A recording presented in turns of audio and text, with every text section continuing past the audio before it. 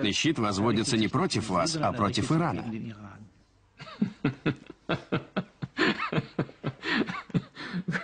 Вы меня рассмешили. Дай вам Бог здоровья, потому что уже конец рабочего дня, так, в принципе, уже спать пора.